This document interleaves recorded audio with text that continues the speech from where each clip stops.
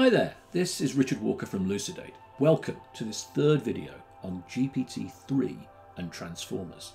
In the first video, we looked at some of the impressive capabilities of language models. We saw how easy it was to summarise financial documents, such as quarterly earnings reports and central bank policy documents. Not only could our AI accurately summarise these documents, but it was also able to output these summaries in both human and machine readable form. Using this approach, a vast amount of documents can be accurately processed in real time. We then looked at word embeddings, a key component of transformers. We saw that we could represent words as dense numerical vectors. These vectors typically have around 3 to 400 elements, and these encodings contain the attributes of the word, including its meaning. To demonstrate this, we performed some arithmetical operations on these numeric word vectors. We used word analogy puzzles, such as this one, where we need to solve for the missing word. Our word encoding had a sufficiently strong grasp of semantics to be able to correctly identify funny as the correct answer. But the semantic encoding on its own is not sufficient. Transformers provide two other word encodings to generate better results. One is called attention, which is loosely modelled on grammar. The other is position, that is to say, where a word appears in a sentence, as well as where it appears relative to other words in a sentence. For the remainder of this video, we will focus on position. To accomplish this, we'll do four things. Firstly, discuss the differences between variable length and fixed length data. You'll hear variable length data referred to as sequences and fixed length data referred to as vectors. Secondly, we will take a closer look at why position matters and what impact it can have in understanding sentences. We'll then look at how transformers encode sequences. It's very similar to the approach that humans use to encode time. Now, that might sound very odd for now. How do humans encode time? But bear with me, and all will be made clear. Finally, we'll look at how we combine semantics and position into a vector embedding for each word. Firstly, then, let's look at fixed and variable length data. For fields like computer vision, we will have fixed length data. We have a camera with a fixed set of pixels, and this is trained to recognize a fixed set of objects.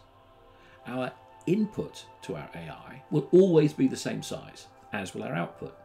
You'll hear this fixed input to fixed output referred to as vector to vector. Now consider sentiment analysis. We want to classify some text as positive, negative, or neutral. Our output is fixed, but our input can be of any length. This is called sequence to vector. Alternatively, think about image captioning. Images can be converted to a standard size and then analysed by our AI to come up with an effective caption. As per the two images on your screen, the captions will be of varying length. This is an example of vector to sequence. Finally, if we look at language models, then whether they're summarizing, translating, or creating, they'll be converting variable length inputs into variable length outputs. This is called, you guessed it, sequence to sequence. When you have a sequence, then you don't know the exact lengths of the inputs or outputs, and this can make it challenging to design effective vanilla neural networks. This spawned the development of a new type of neural network to deal with sequences recurrent neural networks. Recurrent neural networks, or RNNs, are a type of neural network that allows for information to be passed from one step of the network to the next. This makes them ideal for tasks that involve sequential data, where the order of the data points is important. The basic architecture of an RNN consists of a series of repeating modules called cells, which contain a set of weights and biases. These cells take in a sequence of input data and produce a corresponding sequence of output data. The output of each cell is fed back into the network and used as an input for the next time step, allowing the network to retain information from earlier time steps and use it to inform its output at later time steps. For a long time, RNNs were the go to solution for tasks such as language translation, speech recognition, and time series forecasting. They're particularly well suited for these tasks because they're able to process input data that has a temporal dimension, such as a sequence of words in a sentence or a series of measurements from a sensor taken over time. A major problem with RNNs is called the vanishing and exploding gradients problem. In the middle of the RNN architecture is a recursive matrix operation. If you have a number greater than 1 and you multiply it by itself a few times, the resulting number will grow and grow and eventually explode. Likewise, if the number is less than 1 and you keep multiplying it together, then it will eventually vanish to zero.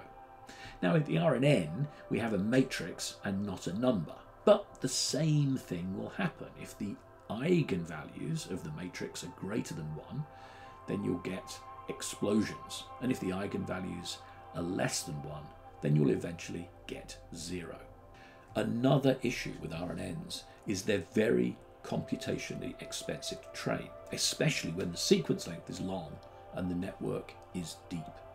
You have to wait for an output to be calculated before you process the next input. That means you can't take advantage of parallel processing or a lot of tensor optimizations in GPUs. Transformers were developed to address these problems the vanishing, exploding gradients, and the lack of parallelization. They process an entire block of text at once, but in so doing, they lose the positional information that is implicit in the input and output sequences in RNNs. It's for this reason that transformers need positional encoding. Positional encoding allows the transformer to comprehend the order of words. Here's a slightly contrived example to show why this is so important. If you consider the following sentences, they all contain exactly the same words. The only difference is the position of the word only but look how it changes the meaning of each sentence.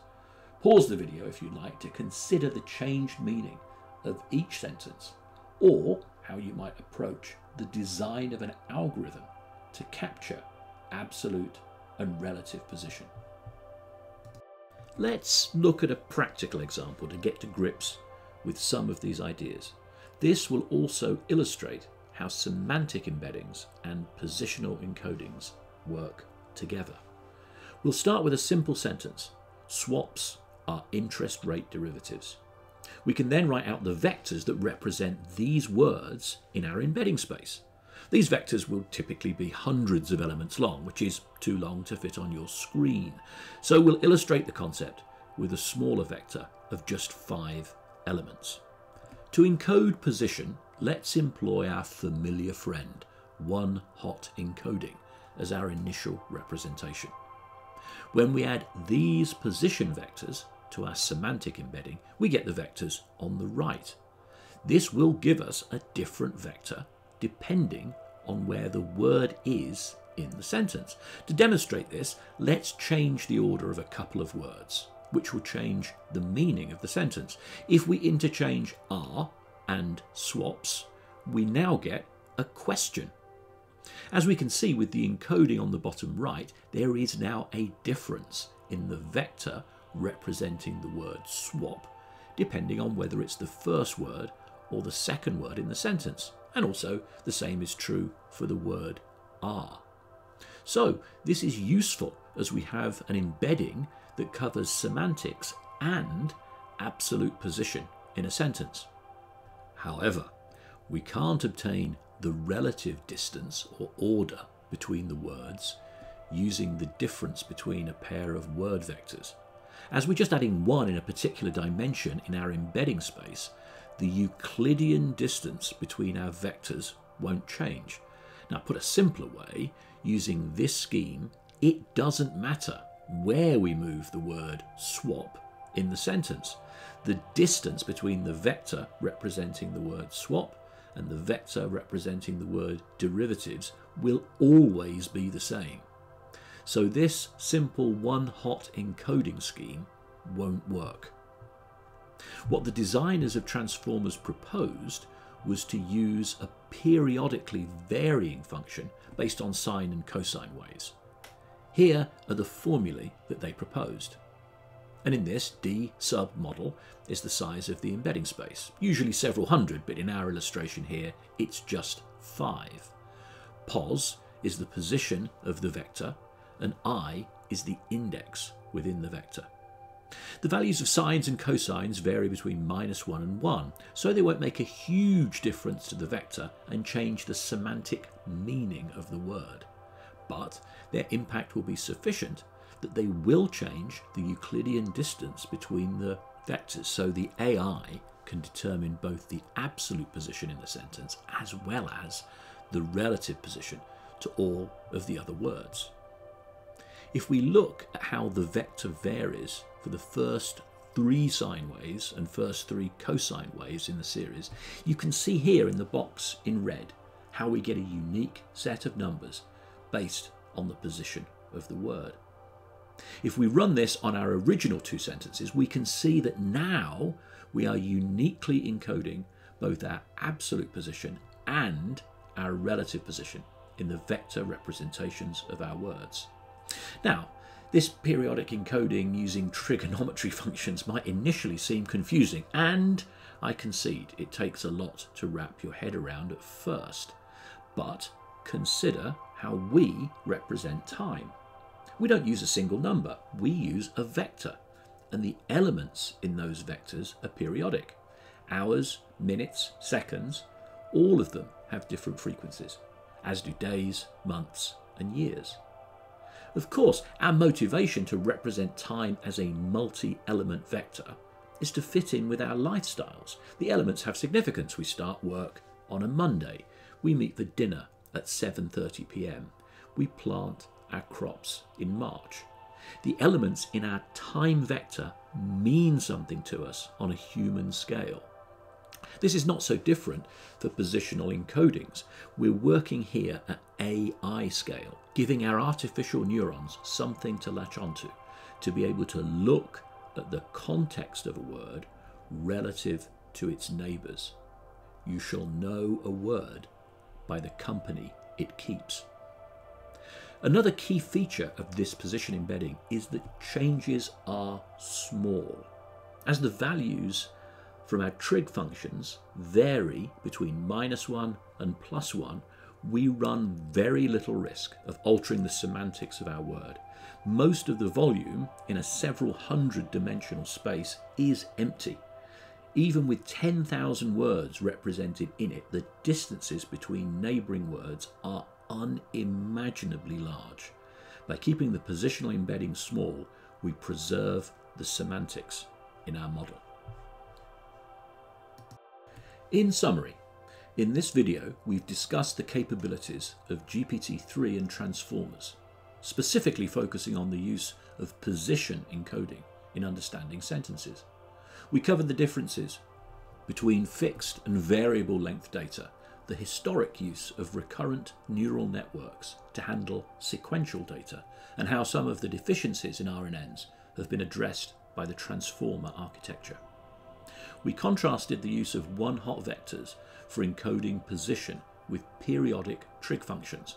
While perhaps a little more complex, the sine and cosine approach was able to encode the relative and absolute position of words, while simultaneously preserving the semantics of each word.